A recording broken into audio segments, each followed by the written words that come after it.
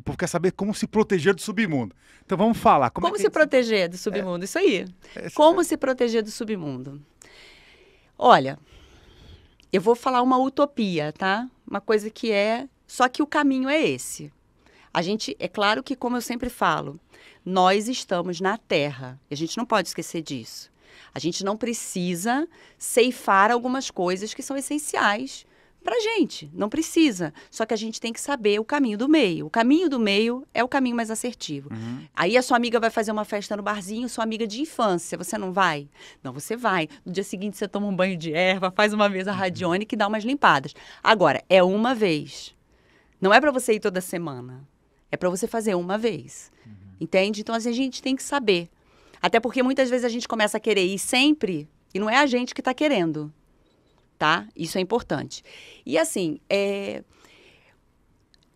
de obsessor ninguém está livre, tá? Uhum. Todos nós temos, todos nós. Isso é uma coisa normal, acontece. Sempre vem umzinho aí. Você vive na luz 24 horas do dia? Você não vive na luz. A gente se estressa, a gente se aborrece, acontecem coisas que perturbam, que desequilibram, desestruturam. Isso é normal. A gente tem que saber voltar para o nosso centro. É importante você estar tá sempre fazendo um trabalho energético, espiritual, limpando, cuidando da sua energia, os seus sentimentos, os seus pensamentos, o que você fala, com quem você anda. Por quê? Porque isso tudo vai criando uma assinatura energética que fica gravada no seu campo, onde você vai sintonizar com energias compatíveis. E aí são energias compatíveis tanto do mundo espiritual como do mundo físico, porque você começa às vezes a atrair pessoas que não são legais para sua vida porque a sua assinatura energética entra em, em, num padrão que você começa a atrair esse tipo de pessoa. É ressonância. É ressonância. É. Então, é um olho no cão, outro no gato. É estar tá sempre se trabalhando. Muitas pessoas às vezes falam assim para mim: basta um trabalho, vou fazer uma mesa radiônica com você. Basta uma mesa? Claro que não. Nós somos camadas de cebola, nós vamos limpando partes, partes que nós estamos prontos. Se você faz uma vez, eu vou limpar partes, você vai viver de luz daqui para frente. Agora, daqui para frente que você fez a mesa, você não vai, não vai acontecer mais nada com você. Você vai ficar excelente. Vibrando só positivo? Não, não vai. Então, é um trabalho que precisa ser contínuo para quem deseja realmente melhorar a energia e que as coisas comecem a andar. Porque esses seres, eles vão fazendo tudo bagunçar na sua vida. Sua vida vai virando uma bagunça, tá? Uhum. É, eu vi uma outra, um, outro comentário que eu achei interessante aqui.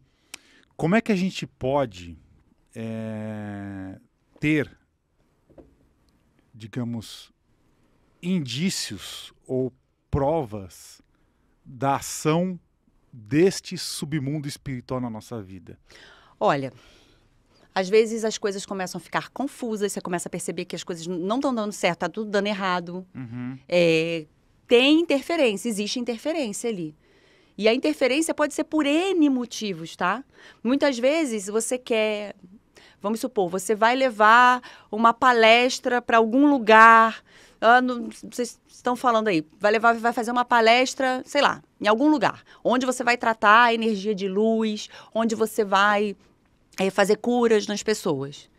Pode ser que ali aconteça muita interferência de seres negativos, porque eles não querem que você esteja lá fazendo o trabalho grandioso que você vai fazer. Uhum. E eles entram nessa, fazendo interferência. Isso acontece, tá? É, a vida, geralmente, quando começa, as coisas começam a, a não dar certo, existe interferência. E aí, vamos deixar só uma coisa bem clara.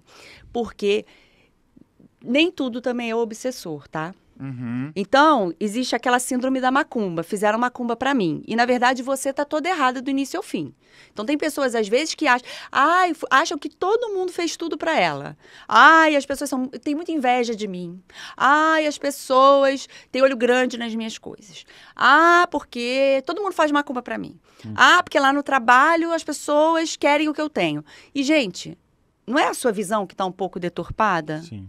Então, a gente tem que ser bem. Então, existem várias vertentes dessa história. Às vezes você é o próprio obsessor de você mesmo.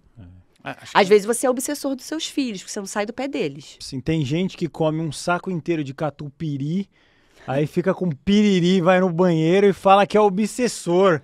Ah, olha, olho gordo, sou muito invejado. Só que esqueceu que comeu 10 toneladas de catupiry também. Aí não dá, né? Tem uma, tem uma pessoa aqui no chat é, que falou que gosta de ter o piripiri porque emagrece. É, de fato funciona, mas também pode ir pro cemitério junto, né? Nessa também, aí É. funciona. Você fica magrinho lá. Enfim, é isso, né? Falamos de todas as polêmicas aqui, tá?